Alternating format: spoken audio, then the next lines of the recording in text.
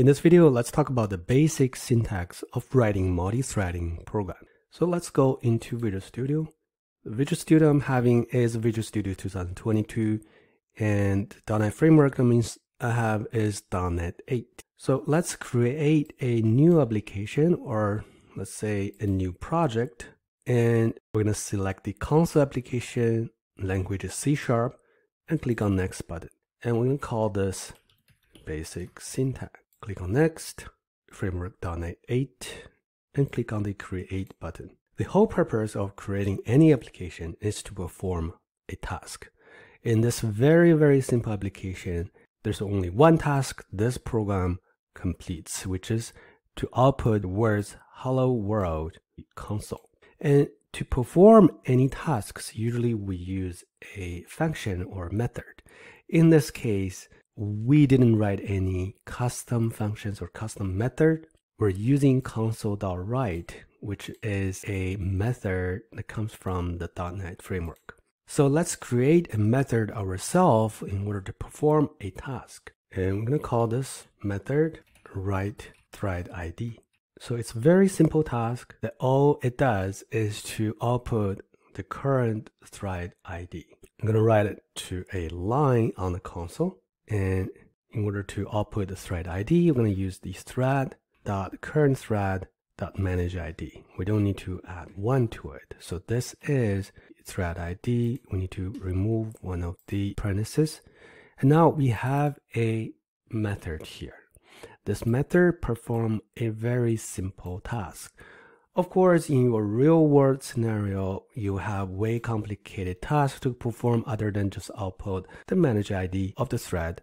But in this case, it's suffice to illustrate the concept. So we have a method here that perform a task. And when we want to actually perform task, we want to invoke this method. We invoke it this way. And if we run it, well, actually, let's also do a console line so that we don't just directly exit the program. Okay, let's run the application now. And now you see we have hello world, which is the first task that is performed. I forgot to remove that. And then we have this number one that's written now. So this is the ID of the main thread of this application. Well, let's remove this before we forget. Okay, so we have this task that is performed by the main thread, which is why the thread ID is number one. So in this course, we're talking about multi-threading, right? So in order to start another thread, we're going to use the thread class. So what we are going to do is we're to say thread dot, let's say we call it thread one, and then we're going to just create a new thread. And then within the constructor here, you can see that we have different signatures and all of them takes at least a delegate.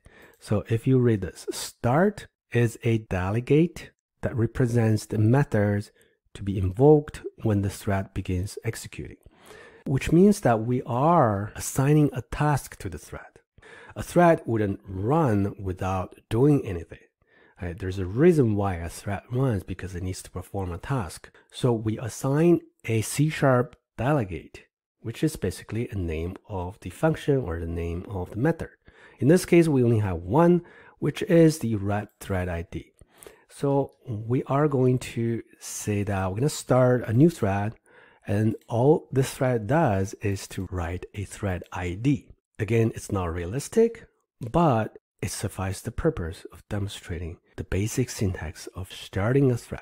Okay, so starting a thread, you declare the thread, you assign a task to the thread, and then now you're gonna say thread one dot start. So this is where you actually kick off the processing of this task in this new thread. Okay, so now let's comment out this write thread. So we're not going to actually invoke this within the main thread. We are only going to invoke it within a separate thread. And now let's see what is the thread ID. Let's run the application. Now you can see that the thread ID is number seven. So this is the same method that was called by the main thread, but now it's outputting number seven instead of number one. So that means this thread ID that is written here, which is the current thread, is the new thread instead of the main thread.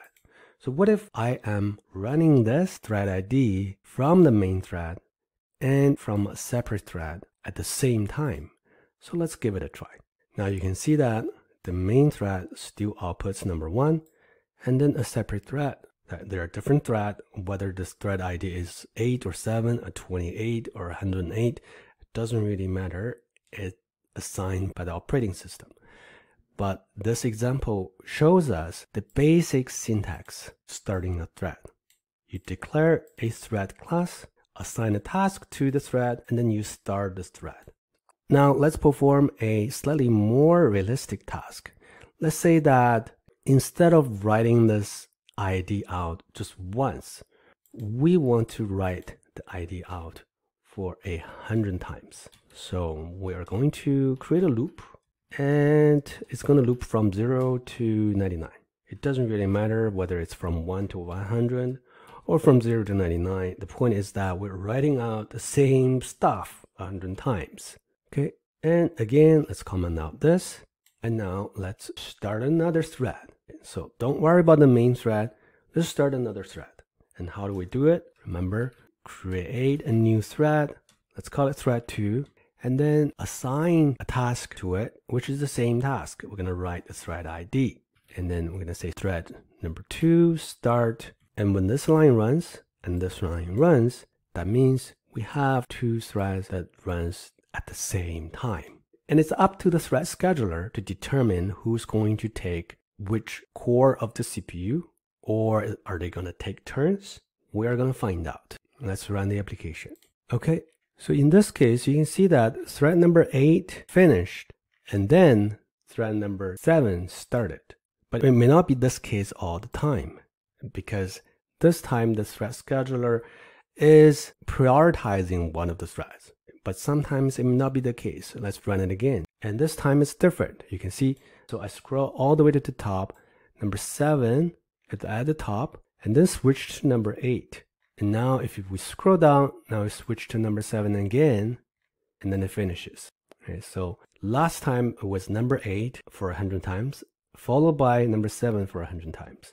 This time it started with number seven, but it didn't finish its 100 times turn. Now it's number eight, and then followed by number seven to complete. And we run it again, you will see another different results. Scroll up, and this time you can see it start with number 8 and finish 100 times. And then number 7. So this is the same as the first time. So the reason why it's repeating this pattern is because 100 is too fast. For CPU, 100 loops is not much. So in order to slow it down, we can say thread.sleep. So sleep 1000 means 1000 milliseconds. That's one second. So that's too long for us. So we don't want to wait for that long. Let's say each iteration, we're to pause for 50 milliseconds. Then when we run it, we'll see something more interesting because if we slow it down, then the thread scheduler will have to work harder to pull the threads in and out of the CPU. So let's run the application again.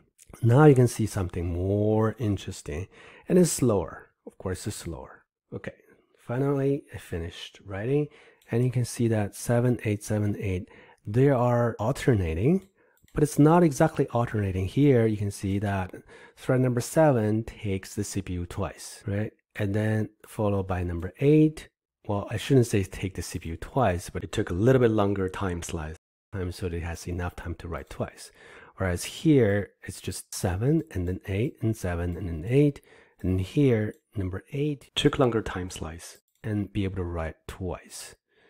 So we scroll down. It looks like the longest is just twice. So from this example, you have seen the thread scheduler working.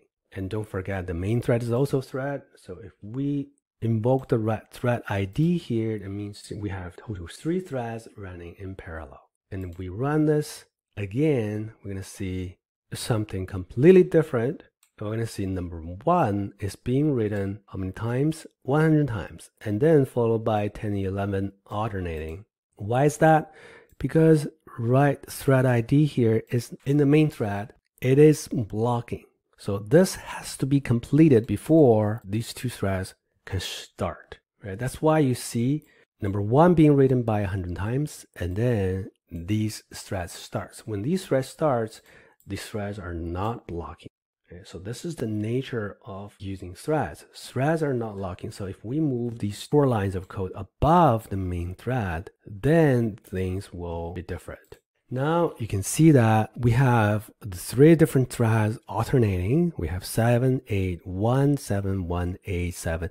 There's no particular pattern in this. Sometimes it's taking longer time slice. Here the main thread be able to write it twice. From this example, you are able to see that the thread scheduler is working to assign different threads within the application into the CPU. And again, the thread scheduler is part of the operating system. Whether it's going to favor this one or this one or the main thread, we don't know. In order to influence it, we have some ways. For example, we can use the priority. Now, before the thread starts, move this line downwards. Okay, and then move this line up. So here, if we say that thread number one and its priority is the highest. Well, first of all, let's take a look at what priority we have here. We have above normal, below normal, highest, lowest, and normal. So five different levels. If we say thread one is the highest and thread two, let's say thread two is the lowest. And the main thread, how do we let it know? So when I say thread dot current thread, so this is the main thread dot priority. Let's say this one is normal. And let's run the application and remove the thread dot sleep because it's going to affect the algorithm of the thread scheduler. So let's comment it out for now and let's run the application. Now you can see number seven starts first because number seven is thread number one. Oh, so, sorry, I need to scroll up. It's not number seven, it's number eight. Number eight is thread one. So number eight finishes and then number one. So this is the main thread and then followed by number seven. So number seven is the lowest. Thread number two is number seven. Thread number one is number eight and the main thread is number one. So you can see that the priority actually influences the order. Now, like I mentioned in the previous video, that the thread scheduler's algorithm has many factors. The priority is just one of them. Uh, the time slicing is another one. So even though you have the priorities assigned like this, each time the work takes too long time, let's say that we have this each time it takes 50 milliseconds here. Now, the result wouldn't be the same. So let's run the application to see what happens. Okay, so we have this running and it's still running. Let's wait for it to finish. Scroll all the way up. And you can see that this is very similar to what we have seen before. Each thread, with three different threads taking turns and there's no particular pattern. Why is that? Why this is the highest, this is lowest, and this is normal. And it seems that they're not actually affecting the sequence. Well, it's really just because the task itself, each time it performs it, it takes just too long time to finish. So the thread scheduler will have to kick it out of the CPU. What the priority of the thread is, it doesn't really matter. So even you can assign the highest to your own thread, you're not going to have the turn because you're too slow. Before we finish this video, I also want to show you that a thread can have a name. So we have thread.name and you can call it thread1 you can give thread 2 a name, and then we can have the main thread, which is thread.current.name, and we can call it the main thread. So now instead of writing out the ID, let's just write current thread's name. So this would be more meaningful at least. So let's write. And you can see that they're alternating because the task itself to perform in this thread is just taking too long time. So we have the names being written out like. Alright, so this is the basic syntax of kicking off a thread. You declare a thread, assign it a task, and then just call start. Then it will start the thread. And it will not be blocking. That's the nature of a thread. Whereas if you perform the task without running in a separate thread, you are going to block the current thread. In this case, the current thread is the main thread. That's why this line will not execute before this task is finished. And that's everything I want to cover in this video. If any questions, please let me know. If not, I will see you in the next one.